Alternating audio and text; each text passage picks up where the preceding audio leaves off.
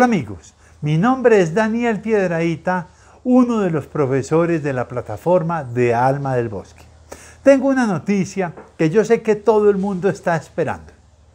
Vamos a hacer un curso virtual especializado en fanelopsis, en estas bellas plantas que son de origen asiático. El 26 de agosto a las dos y media de la tarde comienza este curso virtual. El cupo es limitado. Apúrate, inscríbete de afán para que no te lo vas a perder. ¿De qué vamos a tratar? Todos los temas, absolutamente todos los temas. ¿Cómo se siembra? ¿Cómo se cultiva? ¿En qué lugar lo debes colocar en tu casa? ¿Cómo hay que resembrarla? Con qué sustrato, cada cuánto se abona, cada cuánto se remoja, toda una cantidad de tips. ¿Y por qué lo queremos hacer? Te quiero contar. A muchos de ustedes, esta es la planta más cultivada del mundo. Es una planta que se, la pueden sembrar entre, se pueden vender entre 400 y 500 millones de plantas de Phalaenopsis en el mundo. Eso es una barbaridad. Puede ser la planta que más se comercializa en el mundo. Pero no la sabemos cuidar, no sabemos sus cuidados, su origen, cómo se debe regar todo. Aquí tengo un ejemplo. Esta, mira, esta planta algún día fue así de bonita, como estas.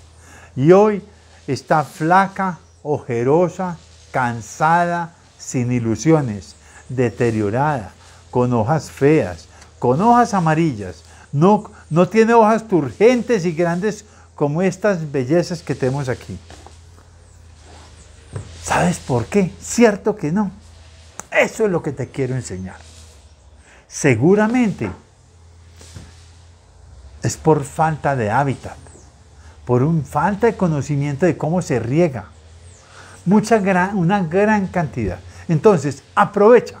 De nuevo te digo rápidamente, aprovecha, suscríbete rápido en www.almadelbosque.com y ahí te va a aparecer el, el enlace de suscripción por solo 30 dólares. Yo sé que vamos a estar en una clase fácil entre 2 y 3 horas hablando del tema para que te vuelvas una experto o una experta de la materia en fanelopsis y todas tus plantas que te han regalado y las que te van a seguir seguramente regalando pues ya sepas cómo se manejan y cómo logras volver a hacerla florecer, volver que se vean así de lindas, volver a que tú te goces todas las plantas que te regalen y que te vaya súper bien.